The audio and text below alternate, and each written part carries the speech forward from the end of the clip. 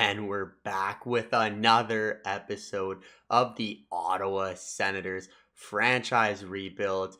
I believe we're in year number seven now, which is pretty insane to think. But the roster is looking amazing now. Just a quick reminder on who we got on the squad. Let's check out the edit lines here. First line, Tim Stützle, 25 years old, still getting better every season. Look at his stats. I believe last year was definitely his worst year, but outside of that, he's been very, very good for us. And I'm very happy with his career so far. 25. He can still grow. So far, he's got five points in four games. Stefan Ferlin already has eight points in four games. Medium franchise, 89 overall, 20 years old. Superstar X Factor, five abilities plus his zone ability. He's just going to get better and better. And the funny part is he doesn't even fit on the first line. They want him playing on the fourth line, but that's just never going to happen. He's way too good to be on the fourth line. But that's where they really want him. That's not happening. And then on the right side, Bob Huxley, 21 years old, sniper, second line, medium. Actually, this is the two way forward. My apologies. The sniper is Woolley. Huxley. So yeah, they got a plus five on that first line. Second line, plus five with Brady Tkachuk. 28, getting a little bit older now, but he's been pretty good for us, I think. 56, 68, 54. I mean, probably not worth the $8 million cap hit that he's on, but definitely been a stud for us this year. Uh, Tristan Woolley, our sniper here, the one of our only snipers on the roster. Where does he fit? Third line forward for him, technically. I can give him a plus five if I bring him down to that third line. No, I like the plus two instead. And then Timothy Tarasov, another superstar X Factor, medium top six, 22 years old. He's only an 80 overall, but with the plus five morale boost, he becomes pretty damn good on that second line. The third line, we got our draft pick from last year, the two way forward beast, Phil Pitt, 80 overall. He's got the plus two, superstar X Factor. How's he doing so far? It's zero points, minus four. Hasn't been too effective, but normally our third line, yeah, our third line always just gets scored on every year. So definitely something we to keep an eye on. I think Phil Pitt has great defensive stats. Shane Pinto, not really. It's kind of mediocre.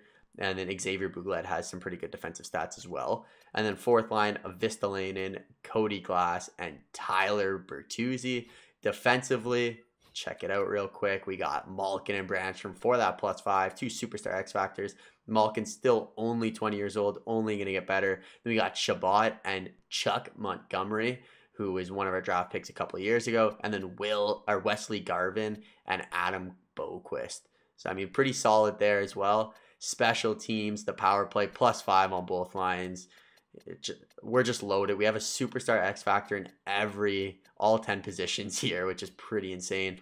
Penalty kill plus five each. Uh, or that was format power play penalty kill plus five, and then plus two. Another great. Our special teams should be great this year. Last year they were supposed to be great too, but I'm feeling it. And in the net, our big addition, Connor Hellebuyck. We got on a two year deal where we tried growing Pierre Blouin. Let's go right into the season. I'm excited to simulate. Let's go. And we got to start off the year with another slow simulation. We're one and three right now. The record's not looking too too sparkly, too shiny, but still early in the year. First period, and we get a goal from Bob Huxley and and Krebs gets one who was actually traded to Buffalo for Jack Eichel. Second period, we get another one from Tim Stützle, probably our most consistent uh, scorer over the past four or five years. And we get another power play goal, this time from Eric Brannstrom. And Brannstrom gets two power play goals for Brannstrom in three minutes. He's having an incredible season so far. If I remember correctly, he has like seven points in those three games, four games. But it looks like we're going to be able to take down the Vegas Golden Knights as Tim Stützle gets another goal. This is the offense I know, and I think we can produce all year long three stars. Stefan Ferlin, the franchise potential playmaker, puts up four apples. Brannstrom, three points. And Connor Hellebuyck, that's why we got you. 31 saves, 968 save percentage. Great game from the boys. Let's simulate a couple weeks here and see how the team's looking. 28 games in, and I had to stop the simulation here. Somehow we are 10, 17, and 1. With the team we have, I don't get it. I don't I don't know what's going wrong. But maybe we got to get rid of Tarasov off this first line. Xavier Bouglet comes up. Actually, I kind of want to throw Phil Pitt there. How is Phil Pitt playing? Not very effective. Not very effective for Phil Pitt. But they get them the plus five of Bouglet there. Bouglet hasn't really done anything either. Tarasov, do I just want to bring down to the fourth line here? I mean, how, how's he done? He was playing on the first line, didn't really do much. It's tough. It's tough. What do we want to do here? Ferland's up to a 90 overall, though, having a great year. That Huxley's not playing too well here. Eight goals, nine assists. What if I go Woolley on the first line? Can I make that happen? Not instead of Stützle. I like Stützle there. I'm gonna I'm gonna mess with morale here, and I'm gonna switch up some lines. How can we get this working perfectly? Bouglet in the middle. Phil Pitt. We're going, we're switching it up here.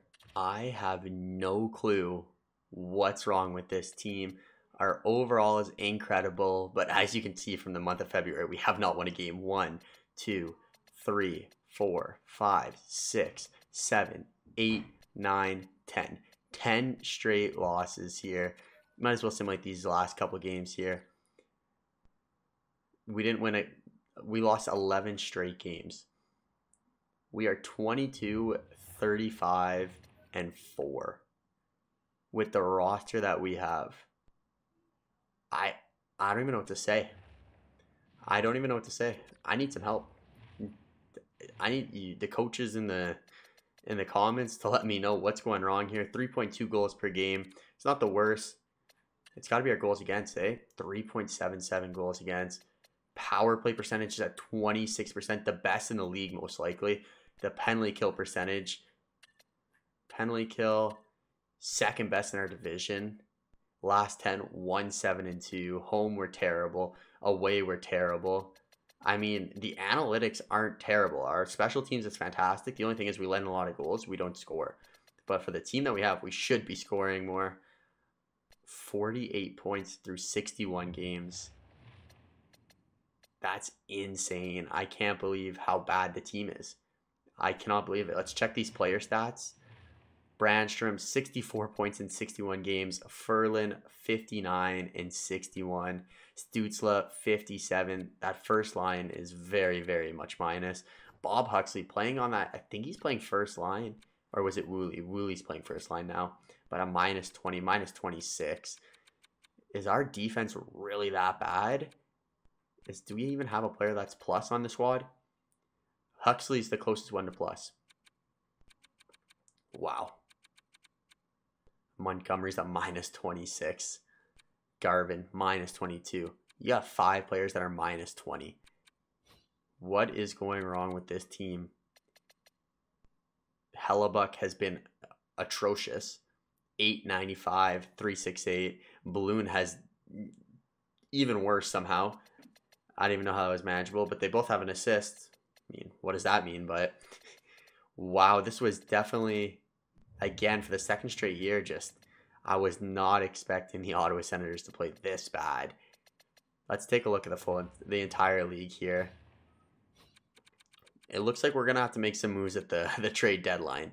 McDavid has 109 points. Draisaitl 90 points. Brayden Point. Kailer, Kailer Yamamoto. What are we gonna do? we got to make some moves here at the trade deadline. I'll see you guys in the trade deadline. We might have to uh, take care of some business here. And in the trade deadline, Thomas Chabot. I mean, getting rid of Thomas Chabot is probably not a good idea, if I'm being honest. But he is 31. Clearly not working. The Ottawa Senators, two of our top players. We got three of the top 10 players available on the market here. Let's find a trade. Let's start with Tyler Bertuzzi. Bertuzzi, where are you? Definitely he's that low at 86 overall. Okay. So Hackett's probably my best option here. What's Hackett's deal here? 67 overall for Hackett and a 7th for Tyler Bertuzzi. Honestly, I'm trying to hold Bertuzzi. His trade value is low. It's basically getting nothing in return. Thomas Chabot, we can get something though. I would I would like to hold on to Thomas Chabot. Boqvist a third for Klein. What is Klein's overall? Because I don't mind moving on from Boqvist. I don't know if he'll even want to resign next year. 76 overall. Hmm. Let's. I think Chabot is one of those players that moving on from might just be what we have to do, unfortunately. I'm going to try picking up Brandt Clarke from the LA Kings for Thomas Chabot and two seconds. Let's see. Not willing to make that trade. But honestly, for someone like Brandt Clarke, you got to overpay. So I'd be willing to give him Fuller as a as a little bit more trade value. And will they accept that? And it is done. Thomas Chabot, thank you for your service in the Ottawa Senators, but it's time to move on. I'm not going to make any more line changes here. We lost one of our, our key players, Thomas Chabot. I, I thought of trading Brady Tkachuk, but I just can't trade Tkachuk. To Chuck's on the team for life. Best lines. I'm, I'm just going to keep best lines. Let the team play. You know what? Phil Pitt, enjoy yourself. Yeah, let's just get the young guys up there. Huxley, might as well. Top six. Bertuzzi, Hainsey. Who's this Hainsey guy? 67 overall. Looks like he's playing now. But yeah. what else can we do here? Bertuzzi, sure, you can play the third line. Hainsey, you're in the middle now. Cody Glass, maybe throw you in the middle. Actually, You're probably much better. But yeah, uh, it hurts. Clarke's on the squad now. I feel like I should put Malkin here with Brannstrom as they were great before. So let them keep playing together. Clarke and Montgomery, I kind of want to keep.